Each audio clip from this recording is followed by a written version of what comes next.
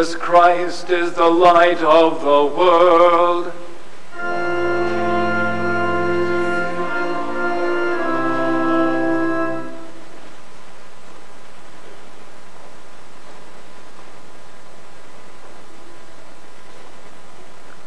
Stay with us, Lord, for it is evening.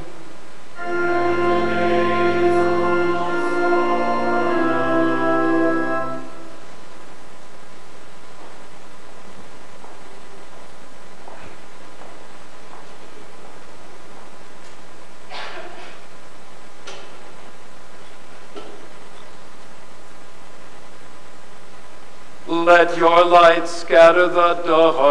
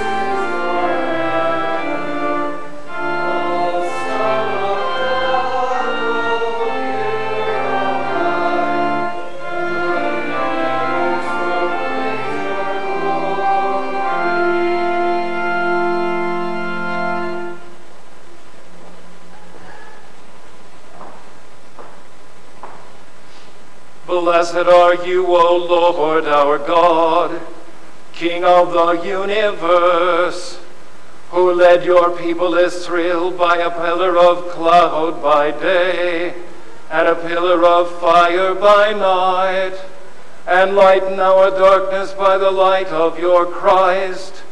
May his word be a lamp to our feet and a light to our path. For you are merciful, and you love your whole creation. And we, your creatures, glorify you, Father, Son, and Holy Spirit.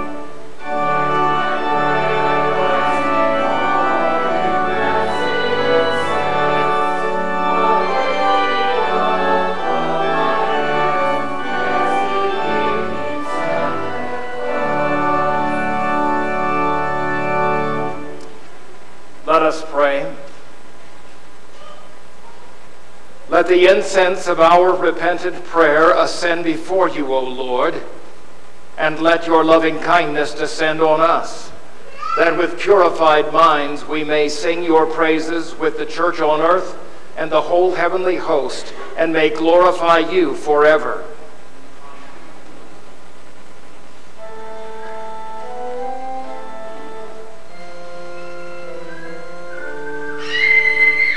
Lift up your heads, O gates, and be lifted up, O ancient doors, that the King of glory may come in.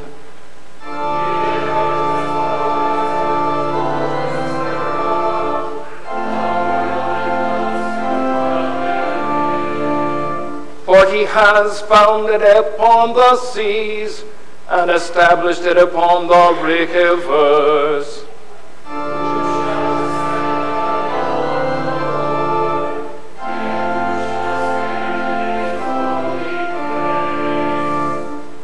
Who has clean hands and a pure heart, who does not lift up his soul to what is false, and does not swear deceitfully.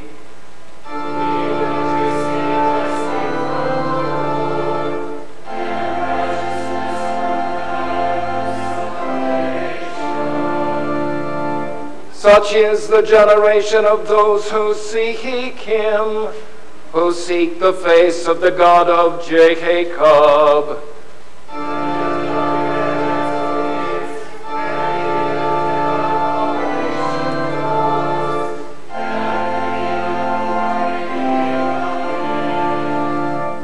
Who is this King of glory?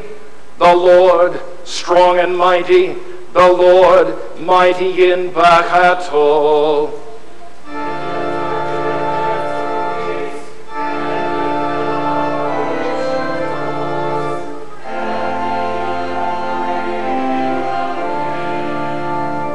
Who is this King of glory?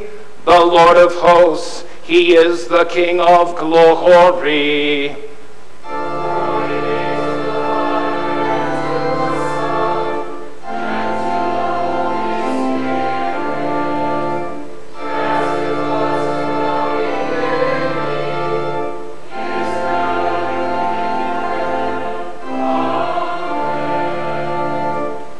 Lift up your heads, O gates, and be lifted up, O ancient doors, that the King of glory may come in.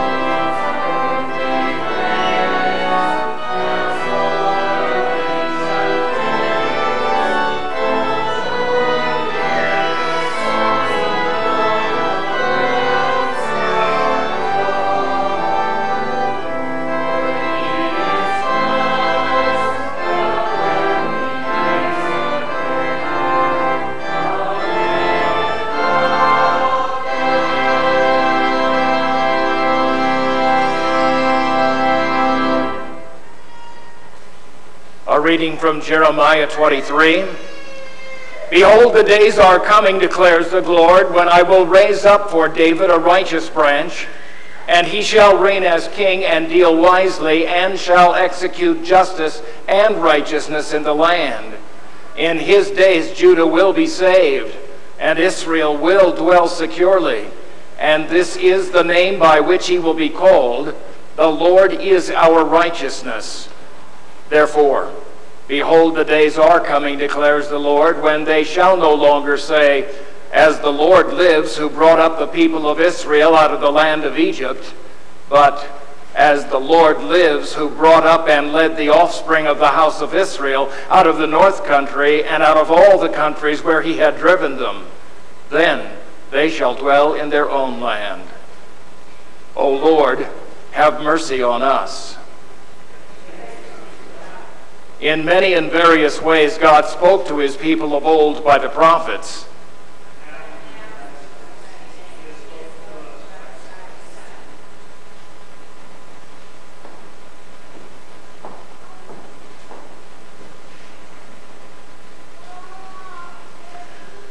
For each of you, the peace and joy which come only from our Lord and Savior Jesus Christ. He is the one who was, who is, and who is yet to come. The text from Jeremiah 23. Christ Jesus comes in the name of the Lord. That's exactly what the adoring Palm Sunday crowds shouted. And it's exactly the same truth that we proclaim each Sunday before we receive Christ's holy body and blood in the sacrament.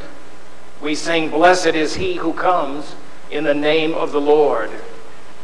Advent means coming a time when the church directs special attention to Christ Jesus coming in the name of the Lord.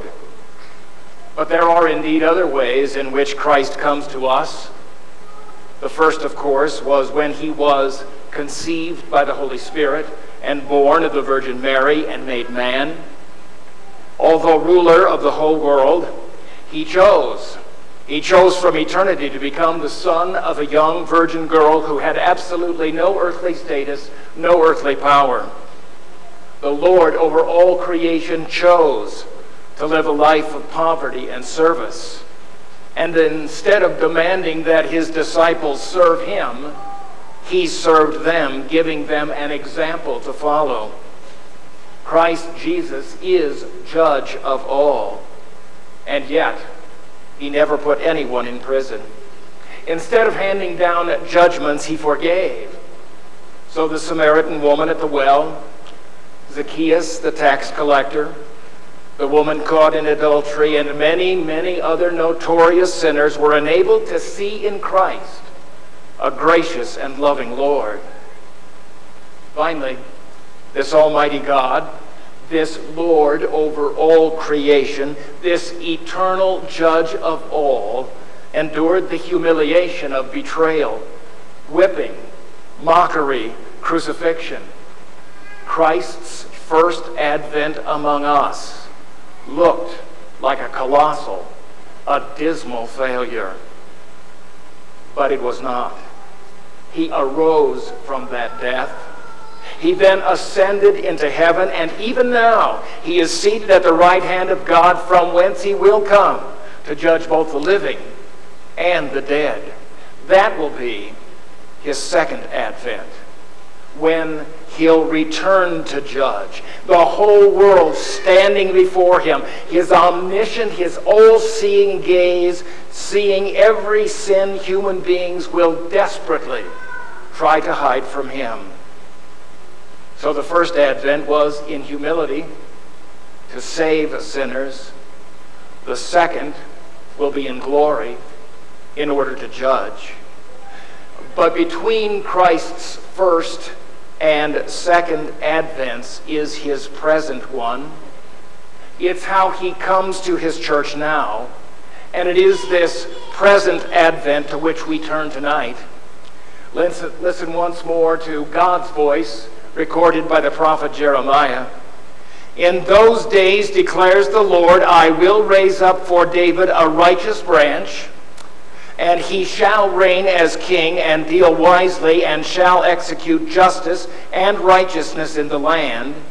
In his days, Judah will be saved and Israel will dwell securely. And this is the name by which he will be called. The Lord is our righteousness. This is an absolutely wonderful prophecy, and you should pay close attention to it because it is intended for you. It's intended for you, the church, all those who are in Christ according to faith, because the church is the new Jerusalem. It's the place that Jeremiah describes by God's Holy Spirit. Listen to how Ephesians 5 says, says of this church Husbands, love your wives just as Christ loved the church and gave himself for her that he might sanctify and cleanse her with the washing of water by the word, that he might present her to himself a glorious church, not having spot or wrinkle or any such thing, but that she should be holy and without blemish. The washing of holy baptism put Christ on you. And that washing and that putting on of Christ wasn't just a one time thing. A Christian constantly puts Christ on as you as you hear his word, as you receive his body and blood, as you repent of your sin, and as you trust in him according to faith. Yet how can it be? How can it be, as Ephesians 5 says, that the church, that you and I have neither spot nor wrinkle or any such thing, that we are holy and without blemish? Where in the world is that church? I don't see it. Do you see it? The church that I see is made up of people who sin, who say false and unkind things about their neighbors, who are often dissatisfied with what God has given to them, who covet things that belong to other people, who are known to cheat and to lie, to break promises, to, to judge other people unfairly, to break rules, to drink too much, sometimes to fail to pay their bills, to neglect the, the needs of others and consider their own needs much more important. And that's just what we see. Think of what God sees. What he sees when he looks into our very souls. You know, the stuff that other people can't see. There is nothing that is hidden from the sight of God. How then is it possible that God can describe Christ's church the way that he does? What is it that the Bible says? It says, as this is, and this is the name by which she, the church, will be called, the Lord is our righteousness. By the way, this church eh, this church is called by the same name by which our Lord and Savior Jesus Christ is called. I want you to think of that. Because who is it that Christ is? He is the Lord God. He is the Lord God made flesh for us so that he could do in his holy flesh what we in our sinful flesh simply could not do. Christ is what his name says. The Lord is our righteousness. Now, I want to make sure that you get this. Your righteousness, your perfect standing before God, isn't what you've done. What you've done and what I've done is sin. Even the righteous, the good things that we do are always tainted by sin. Only Christ Jesus has done everything well. Only He who comes in the name of the Lord has done everything as it must be done. And wonder of wonder, thanks be to God, his righteousness is made ours. That means that it belongs to us. It's certainly not in the sense of what we've done, something to make Christ's perfection ours, because we certainly have not. Christ's perfection is yours because he gives it to you. He assures you your sin is forgiven by giving you faith in his cleansing blood. And now he's placed you into the care of his church, to whom he's entrusted the granting, the giving out, the dispensing of this forgiveness. The greatest treasure in the world belongs to the church. And so the greatest treasure in the world belongs to you. The Lord is our righteousness. All other gods and lords are fakes. They shouldn't be trusted, shouldn't be worshiped.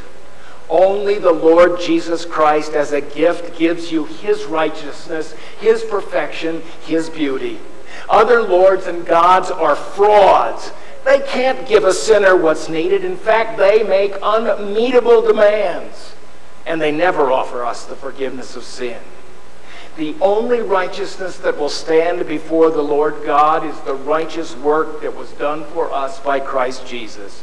He is the righteous branch, the perfect shoot from the stump, from that tree, from that line of King David. No one, no one but the pure and holy born virgin son of Mary, descendant of King David, could offer us what we needed, what brings us the benefits that will enable us to stand without any fear before the judgment seat of God. Only God could do what God requires us to do. And so God became one of us so that he could do it. This shows the real import of Christ's first advent. Had he first appeared in all of his holy and heavenly glory as the eternal judge, we'd all have just been swept away into hell immediately.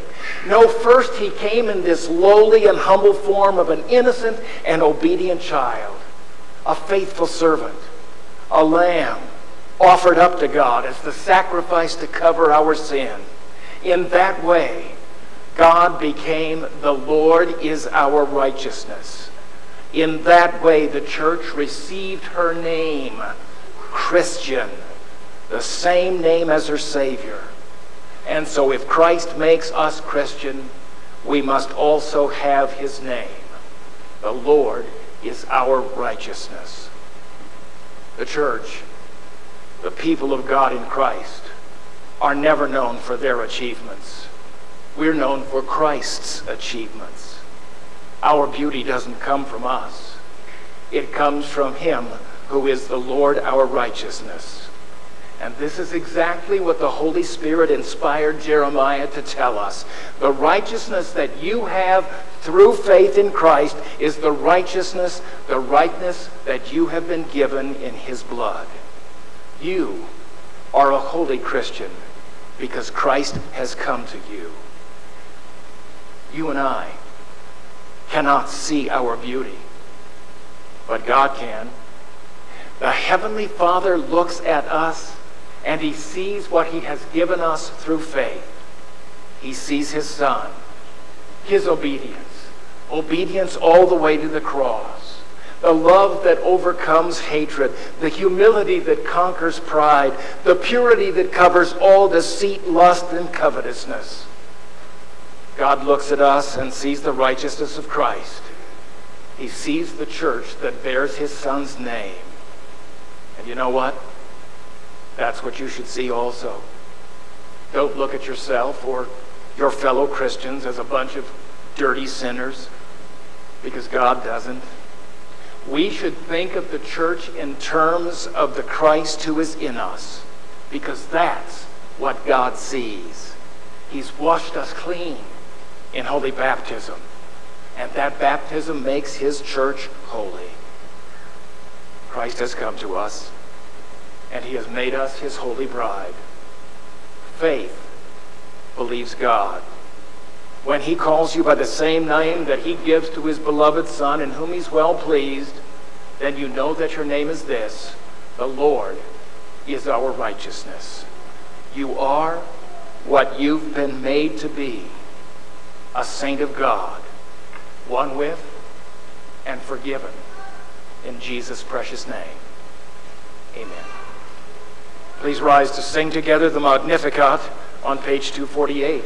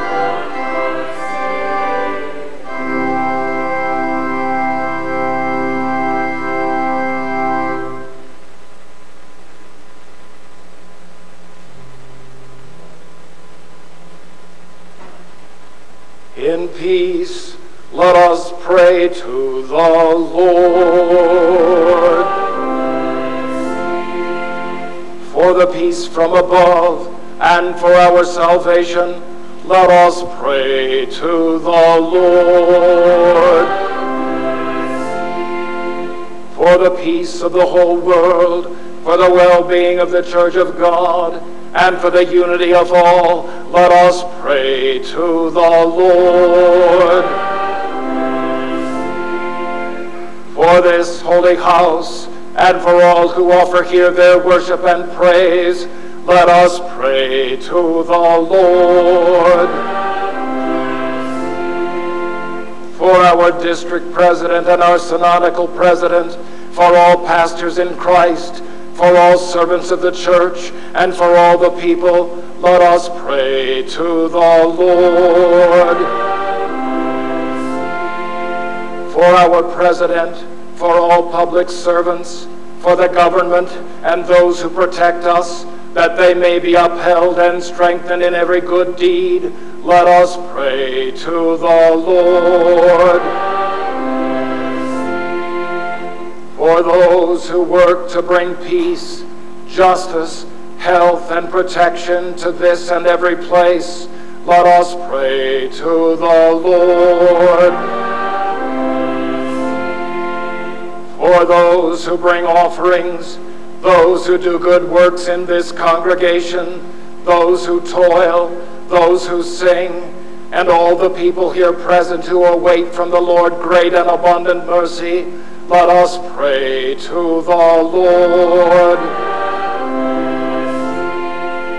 For favorable weather, for an abundance of the fruits of the earth, and for peaceful times, let us pray to the Lord. For our deliverance from all affliction, wrath, danger, and need, let us pray to the Lord. For Dawn Clevenger and her family, for Douglas Bushell, for Joanne Jensen, let us pray to the Lord. For the faithful who have gone before us and who are with Christ, let us give thanks to the Lord.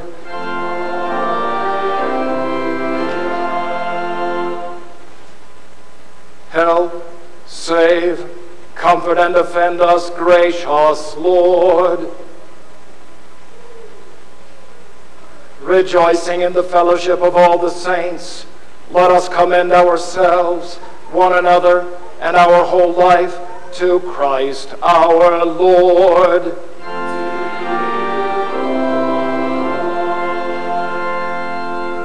O God, from whom come all holy desires, all good counsels, and all just works, give to us, your servants, that peace which the world cannot give, that our hearts may be set to obey your commandments, and also that we, being defended from the fear of our enemies, may live in peace and quietness. Through Jesus Christ, your Son, our Lord, who lives and reigns with you in the Holy Spirit, one God, now and forever.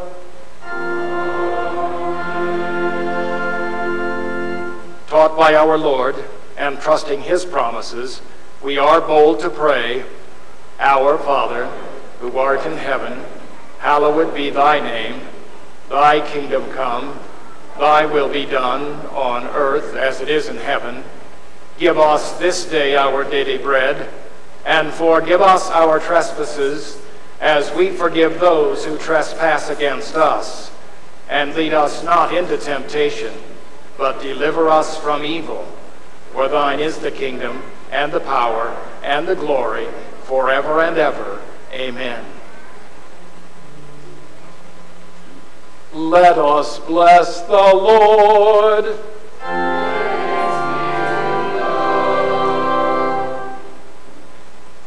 The Almighty and merciful Lord, the Father, the Son, and the Holy Spirit, bless and preserve you.